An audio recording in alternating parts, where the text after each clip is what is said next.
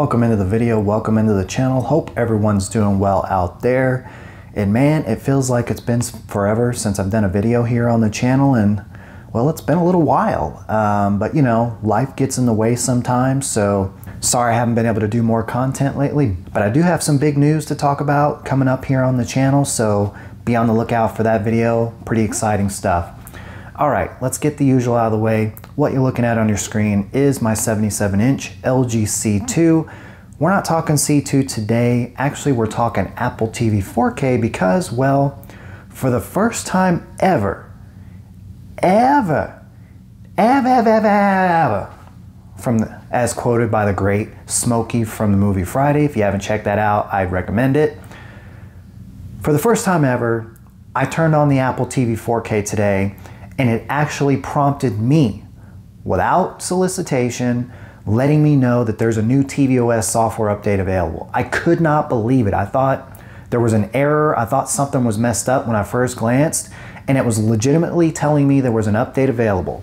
Now, I wish I could get it to do it again. I just restarted it and I was hoping it would pop back up. Naturally, it didn't. All right, so let's make sure I wasn't hallucinating earlier and go into the uh, settings here and see if there actually is an update available. So let's go down here to System, Software Updates, and I'm currently on tvOS 17.6.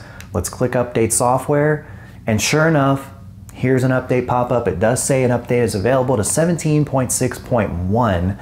And judging by that tvOS firmware, that doesn't very make me very hopeful that we're going to get any new features or any up uh, anything fun with this update. But you know me, I'm going to go ahead and install it anyway. And if you don't know me, well, one of the things I do on my channel is I do these software updates.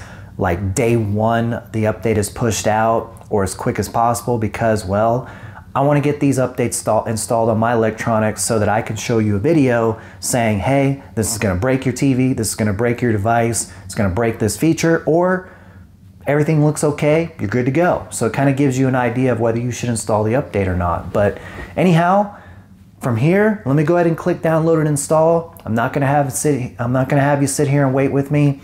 I'll go ahead and get it installed. If I encounter any problems during install, I will be sure to pop back in and let you know. Otherwise, when I come back on the other side, I'll do some basic testing on tvOS 17.6.1, see if anything new came with it, and after that, I'll go through actually what comes with the update. I don't know if you can see me in the reflection or not, but I don't really give a Dude, I've been on this verifying update screen for about 10 minutes now. 10 minutes. Just sitting here, verifying the update.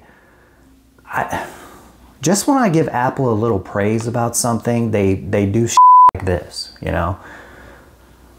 Okay, well, I'm going to finish waiting for the update and, um, you know, I'll check back in with you at some point. And I'm back. And the update finally finished installing.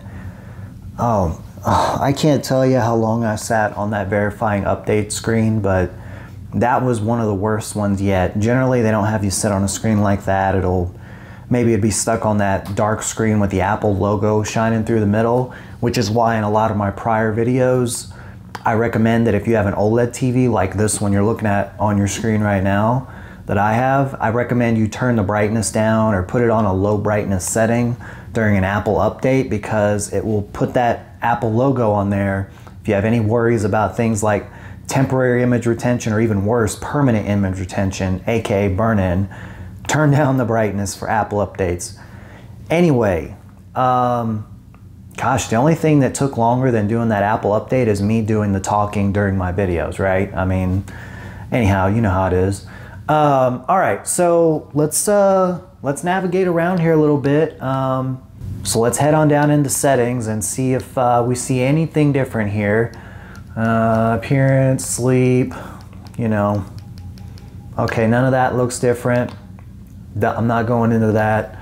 Video and audio, did it change any of my settings? That's one that I have to pay attention to as well. 4K SDR, looking good there. Uh, I've had people ask me why I keep the default format on 4K SDR. It's because I have an OLED screen here and if you change this to 4K HDR or whatever else is in here, I haven't been in here in a while, yeah, 4K HDR or Dolby Vision, what's going to happen is is that when you're back out on the apps menu, you're just gonna have the brightest possible settings on that apps menu all day, every day, and that's just not a good thing for an OLED TV, you know? But anyway, uh, but once my content starts playing, whether it's HDR or Dolby Vision, the display and the Apple TV 4K work together and it changes it to an HDR format anyway, which is perfect. And how do I know it does that? Because of this right here.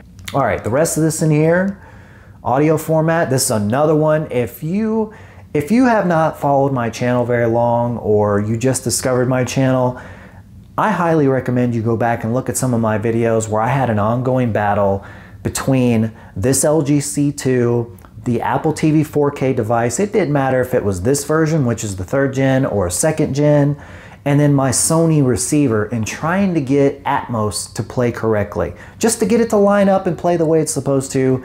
I did kind of a mini video series on that.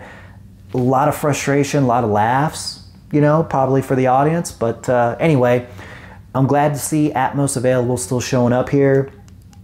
And leave me a comment below. I don't come into this menu this far very often, but if you see anything here that wasn't before, uh, leave me a comment, let me know, and I'll check into it. But other than that, I'm not really seeing anything uh, crazy going on here. So, from what I could tell, nothing in the way of new features added. I'll keep digging into it and uh, do an update somewhere along the way if I decide. Now, maybe some of the applications, we'll go back to this uh, home menu here. Some of the applications may have received an update, like you see this little blue dot. I'm guessing that means the update, uh, the app has updated. There's another one. Look at all these blue dots, you know? Blue is my favorite color, so I don't mind that. But anyway, what came with this update? Well, from what I can tell, just looking on the World Wide Web, all that comes with 17.6.1 are bug fixes and general maintenance. So I'm not even gonna like put up a fancy graphic, get on the face cam and you know, make it whatever. It's not worth it. I'm just here to let you know. I went through the settings menu. I don't see anything new added that's any fun, anything new at all, actually. And from what I could tell, all that came with this were, you know, some bug fixes and general maintenance. Leave me a comment below. Have you had problems with 17.6 tvOS? Let me know what those bugs are. I'd be curious because what I'll be hopeful for for you is that this update corrects those bugs for you. Me personally, I can't think of too many bugs I've experienced here on my third gen Apple TV 4K on 17.6. So for me, it's same, you know, whatever. It's, you know, I don't even care. This update was just, I was hopeful they put a new feature in here, something fun that I could talk about, but unfortunately they didn't. So that's going to wrap up this video. If you did enjoy the video, you found it entertaining, you found it helpful, it kind of gives you an idea of whether you want to install the update or not, whatever it is, if you appreciate the video at all, hit the like button. It doesn't cost you anything and it really helps my channel out a lot.